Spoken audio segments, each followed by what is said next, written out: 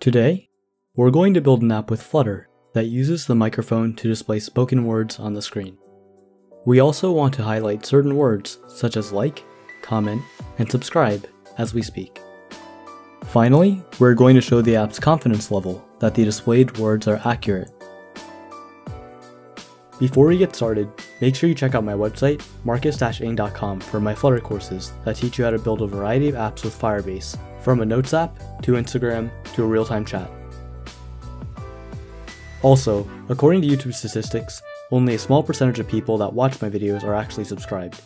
So if you enjoy this video, consider subscribing and hit the bell to get notified whenever I release new content. Enjoy the video. Let's start by adding a few packages to our pubspec.yaml. Speech to text allows us to take in voice input using the microphone and convert it to text. Highlight text highlights words in a string. And avatar glow provides us with a glowing animation. In order to use the speech to text package, we have to enable microphone permissions for iOS and Android. Inside of our info.plist, let's add the keys NS speech recognition usage description and NS microphone usage description. The values of these keys are displayed to the user when requesting permission.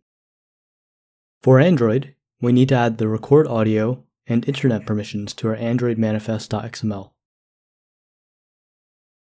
Let's also set the MinSDK version to 21 in the build.gradle located in the Android slash app directory because the speech to text plugin requires at least Android SDK 21. If you run into any permission errors, check out the speech to text packages troubleshooting section on pub.dev. For this tutorial, we're writing all of our code in main.dart. You can separate the classes out into separate files if you want. The title of our material app is Flutter Voice, and we'll set debug show checked mode banner to false. We want the primary swatch of our app to be colors.red, and the home parameter will return a new widget called speech screen. Speech screen is a stateful widget that contains four instance variables speech, is listening, text, and confidence. Speech is of type speech to text, so we need to import the speech to text plugin as STT in order to get rid of the error. In our init state, we set speech to an instance of speech to text. The build method returns a scaffold widget with an app bar displaying the confidence level as a percentage. We multiply confidence by 100 because confidence is on a scale of 0 to 1. Let's create our floating action button. For now, we'll set onPress to an empty function, and the child icon is different depending on if is listening is true or false.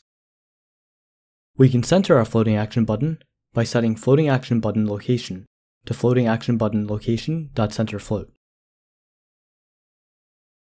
To achieve a glowing effect around our floating action button, wrap the floating action button in an avatar glow with animate equal to is listening, glow color equal to the primary color of our app, end radius set to 75, duration and repeat pause duration set to specified durations, and repeat set to true. To see what the animation looks like, change animate to true.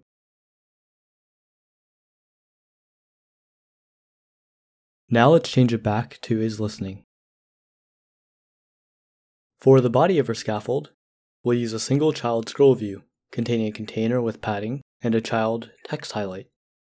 We can set words to a map of words we want highlighted, so let's go to the top of our speech screen and define a map called highlights. We want to highlight words such as flutter, voice, subscribe, and like. Highlighted words have an on tap method that allow us to do things like display dialogues or navigate to other screens when tapped. Since I don't plan on doing either of these things, I'll just set the on tap for each of the highlighted words to print to the debug console. The highlighted words also have a color defined in their text style. And something to note when using the highlight text package is that if text highlight takes in an empty string, you get an error, so make sure the text parameter is not an empty string. The last thing we have to do in our scaffold's body is set single child scroll views reverse to true. This is necessary to make the container scroll as more and more text is displayed in the container. The user will always be able to see their words as they speak. To finish up our app, we need to make an asynchronous listen function that our floating action button calls when pressed. We first check if isListening is false and call speech.initialize to initialize speech recognition services. If they are available, we set isListening to true to let the user know that the app is listening and call speech.listen to start the listening session. OnResult is triggered whenever new words are spoken.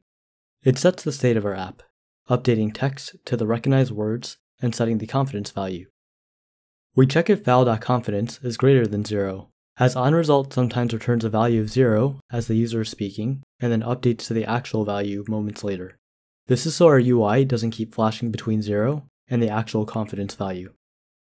In the else block of our isListening if statement, all we have to do is set isListening to false and stop the listening session.